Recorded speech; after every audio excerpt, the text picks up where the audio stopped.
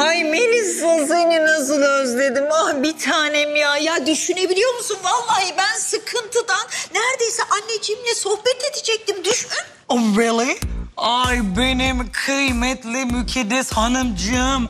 İnanın sizin bu kadar problematik bir durumda olduğunuzu bilseydim çok daha önce arrive ederdim. Ay sen ne tatlısın. Ay sen ne lokumsun ya. Sen ne güzel şeyler söylüyorsun. Günah!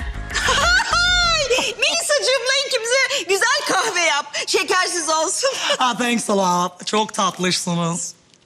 Melisa, iyisin, hoşsun da vallahi bir şey söyleyeceğim sana. Pek de gamsızsın ayol. Yani. ayol.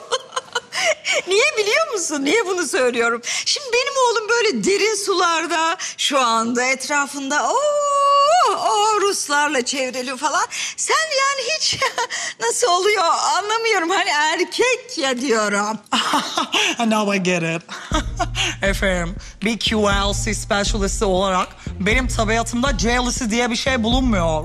Ya bana göre kıskançlık lack of self confidence'dan yani özgüven yoksunluğundan geliyor ve ben megalomanlık derecesinde kendime ve Fatih Şii'me güveniyorum. Yeah. Hayır şey diyorum yani tamam da Melisa'cığım ya, yani Fatih benim oğlum tabii E, mükemmel ama yine de diyorum ki Fatih de erkektir.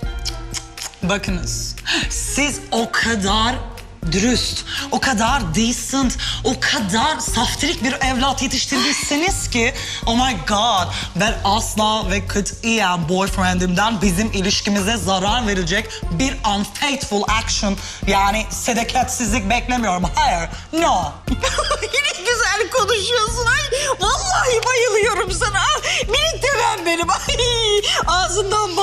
damlıyor. İyi ki Fatih senin gibi birini buldu vallahi bütün sıkıntım uçtu gitti. Bütün negatiflerinden kurtuldum canım benim. Ay ne mutlu bana. Happiness happens to me siz mutlu olunca.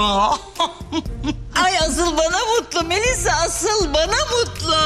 Ay ne mutlu bana. Oğluşumun bu kadar tatlı bu kadar onu seven bir sevgilisi var. Oh. Ah, seviyorum ve çok özlüyorum. I'm in love. I'm dying from my love. Ah benim Fatihçi. My boy.